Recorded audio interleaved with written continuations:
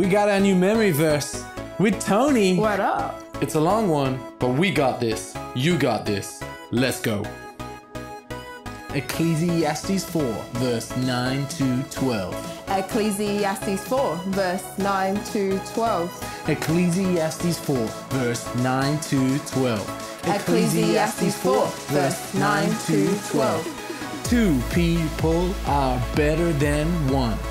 Working together, they can get more done. If one person falls, the other helps him up. But if you're alone, then you are stuck. If two lie down together, they will keep warm. But a person alone can't face the storm. Me alone can be beat by the enemy, but if we're together, we can defend me. A rope with three strings is hard to break. So faith-filled friendships we must make. A rope with three strings is hard to break. So faith-filled friendships we must make. Ecclesiastes 4, verse 9 to 12.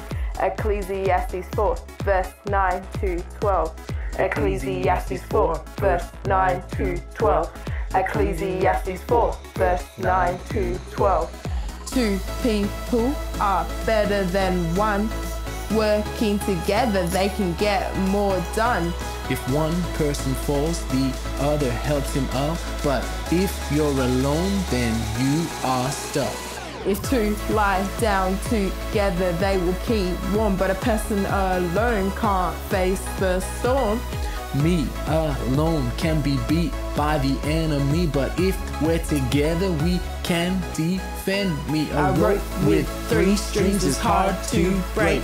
So faith-filled friendships we must make. A rope with three strings is hard to break. That's right. So faith-filled friendships we must make. Ecclesiastes 4, verse 9 to 12. Ecclesiastes 4, verse 9 to 12. A rope with three strings is hard to break, so faith-filled friendships we must make. What up?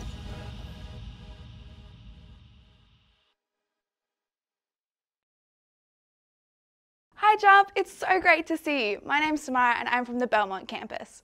Now, who can tell me the name of our series at the moment? That's right, Faith-Filled Friendships. Now, over the last couple of weeks, we have looked at why you need a friend, that you and I were not designed to do life alone. God created us to have friends. And when we looked at what it means to be a faith filled friend, not just a good friend, but a faith filled friend, one that believes for, prays for, and encourages your friends. Now, the idea that I want to focus on today is that faith filled friendships include God. Everyone say after me faith filled friendships include God. Now, in our memory verse, it says in Ecclesiastes 4, verse 12, though one may be overpowered, two can defend themselves. A cord of three strands is not quickly broken. Now, the third strand in the cord is God. Godly friendships do not happen without God involved. Today, I want to have a look at three friends in the Bible. Their names are Shadrach, Meshach, and Abednego, and their story can be found in the book of Daniel. These three friends live in a place called Babylon. Everyone say Babylon. Babylon. And living under the rule of a king called Nebuchadnezzar. We're going to call him King Neb. Everyone say King Neb. Now, King Neb, he did not love God, and he made a rule that as soon as they heard the sound of certain musical instruments, they were to bow down and worship a golden statue of himself. The punishment, if you didn't do this, was to be thrown into a fiery furnace. But Shadrach, Meshach, and Abednego loved and followed God, and they refused to bow down to the statue. And they were brought before King Neb, and this is what they say to King Neb when he asks them why they would not bow down to his statue. And we read this in Daniel chapter 3, verse 16 to 18. Shadrach, Meshach, and Abednego replied to him, King Nebuchadnezzar, we do not need to defend ourselves before you in this matter. If we are thrown into the blazing furnace, the God we serve is able to deliver us from it, and he will deliver us from your majesty's hand. But even if he does not, we want you to know, your majesty, that we will not serve your gods or worship the image of gold you have set up. Now, these three friends chose to keep God at the center of their friendship.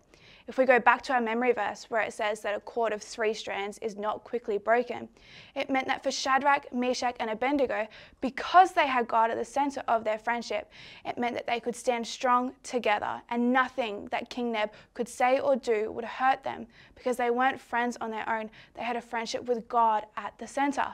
Now, it didn't just stop there for these friends. They didn't just tell King Neb no. They declared their faith in God, that he would be able to deliver them and keep them safe, even if they were thrown into the furnace. Now, what did faith filled friendships with God at the center look like for us? Well, jump. It looks like friends who pray for you if you go through hard things, who will come alongside you and point you back to Jesus in this way, even if maybe you don't want it or can't see it. It looks like friends who will be honest with you and tell you if you're not doing something that would please God. They won't encourage you to talk badly about other people or to be rude to your parents or teachers. They will tell you to be respectful, to include other people when you play at lunchtime or recess. It will also be a friendship that encourages you in your faith, encourages you to read your Bible and to pray and come to church. For Shadrach and Abednego and Meshach, it meant that they had friends to stand with them against King Neb that Shadrach has Meshach and Abednego supporting him. Meshach has Shadrach and Abednego supporting him. And Abednego has Shadrach and Meshach supporting him to stay strong in their faith in God. Is this what your friendships look like, Jump? Or do your friendships, do you not have people praying for you or maybe encourage you to do bad things like talk badly about other people or be rude? Or maybe they don't see the value in reading your Bible or encourage you to go to church. Now, we have learned over the past few weeks that we are made to be in community, that we are not meant to do life on our own. But this community and these friendships that we are designed for are meant to be ones with God at the center. Now, before we go into our Connect groups, I would love to pray. So, can I get every head bowed and eyes closed and hands raised as if you were receiving something? Dear God, I thank you that you love each and every single one of our kids. I thank you, God, that we were, were not created to do life on our own and we were created to do life in godly community and friendships. I pray, God, that you would give us the courage and strength to be good, godly friends and that you would bring godly friendships into our lives. In Jesus' name, amen. Bye, Jump.